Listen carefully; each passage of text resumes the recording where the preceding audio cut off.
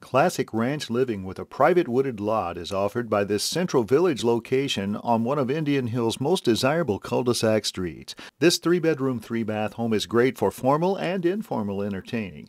You'll love features like a European kitchen and generous room sizes. Call Joan or Barbara today for complete details.